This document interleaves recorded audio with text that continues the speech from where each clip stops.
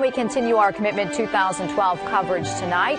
Early absentee voting is now underway here in Maine, and many voters continue to take advantage. In the year 2000, 12% of Mainers casting ballots voted absentee. In 2004, that number rose to 22%. And during the last presidential election, nearly a third or 32% of all votes cast in Maine were done so by absentee ballot. That is according to the Secretary of State's office.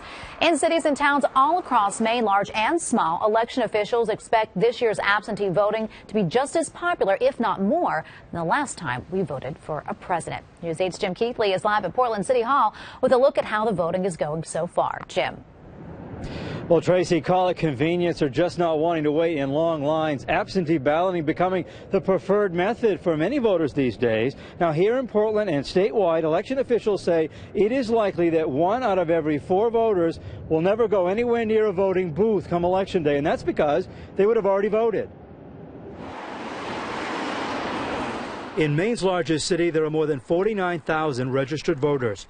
During the last presidential election in 2008, there was a 79% turnout, a pretty good record. Those wishing to vote ahead of the election are pointed this way.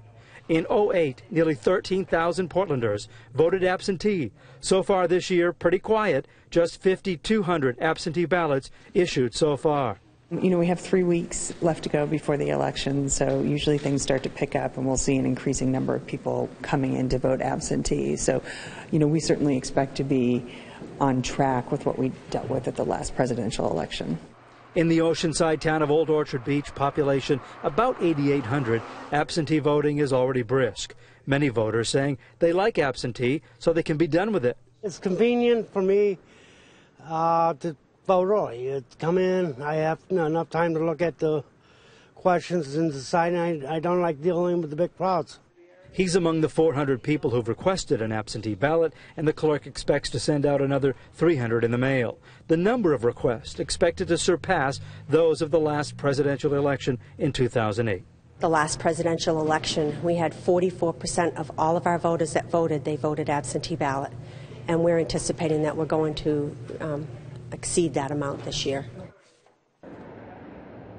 Now, during a presidential year, the Secretary of State's office says that uh, voter turnout here in Maine is among the very best in the entire nation, between 65 and 70 percent. Just in case you're counting, there are 26 days left before the election. We're live in Portland. Jim Keithley, News 8.